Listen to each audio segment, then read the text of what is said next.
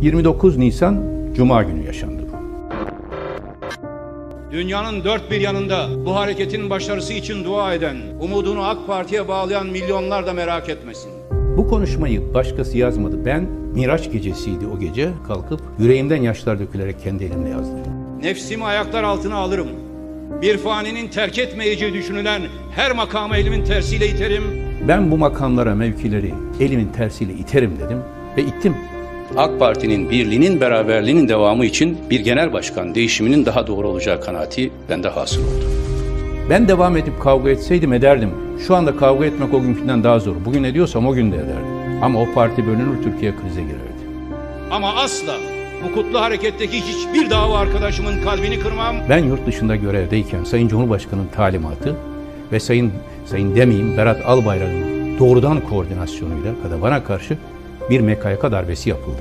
Dünya mazlumlarının tek umudu olan bu ak harekete zarar görmesine, bu ak yürekli kadroların üzülmesine, yeişe düşmesine asla izin vermem. Açık söyleyeyim daha sonra böylesine barbarca Bir süredir tartışmaların odağında olan İstanbul Şehir Üniversitesi kapatıldı. bütün hakları, hukukları yerle bir edeceklerini, ben hukuklarına riayet ederken onların hiçbir hukuk tanımadan beni dolandıracak ilan edeceklerini bilseydim, Halk Bankası'nı da dolandırmaya çalışıyorlar. E hani bunlar dürüst ya. Dürüstlüğü bunlar kimseye bırakmıyordu. böylesine şatafata, böylesine kibre, böylesine tepeden bakan bir anlayışa geleceklerini,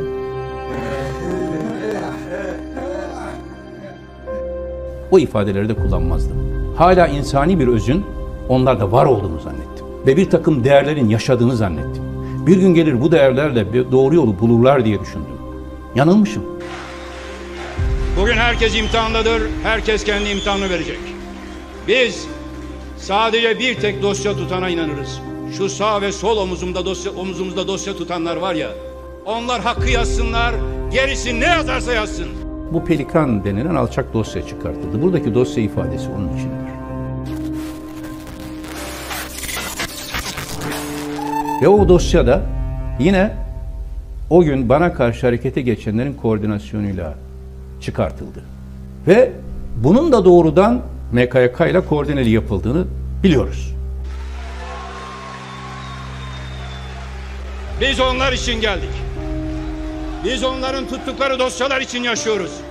Son nefeste onların hakkımızda hayır şehadet etmesi için gayret sarf ediyoruz. Son nefesimize kadar bu dosyaların hayır içinde olması için Rabbime niyazda bulunacağım. Davutoğlu'na ne zarar gördü? Ne yaptı? Ne hata yaptı? Ne yaptı? Pelikan dosyası diye alçakça bir dosyayı çıkardılar. Ama öyle bir ah aldılar ki hiçbir iflah olmuyor bugün. Hiçbir iflah olmuyor. Kim ne fitne yaparsa yapsın, kim ne üretirse üretsin, kim ne yazarsa yapsın arkadaşlar. Hepimiz önce bu iki dosya yazıcının dosyasından korkalım. Hiçbir hukuka riayet etmediler. AK Parti'nin çöküşü yolsuzluklar sebebiyledir. Şatafat sebebidir. Bölen AK Parti'yi bölen biz değiliz. AK Parti'yi bitiren iş çürümedir. 1 Kasım'da devrettiğimiz o mutlak AK Parti iktidarını önce Bahçeli ile ortaklaşa yaptı. Şimdi Bahçeli ile birlikte de koruyamayacak hale getirdi. Nasıl kaybetti İstanbul'u? Biz mi kaybettirdik İstanbul'u? Ankara'yı biz mi kaybettirdik? Sayın Erdoğan öyle bir yerde ki ne Hazreti Ömer gibi hak hukuk sorabileceksin. Ne senin düşüncen dışında bir düşünce söylemek haşa. Kimin haddine? Nereden geliyor bu ayrıcalık Allah aşkına? Ben hiçbir şeye ihanet etmedim. Onlar AK Parti, AK Parti yapan bütün ilkelere ihanet ettiler. Türkiye Cumhuriyeti yönetiyorsa ve yanlış yönetiyorsa, 3-5 sermayedarı zengin edip milyonlarca kitleyi fakirleştirip açlık sınırına getiriyorsa da kusura bakmasın.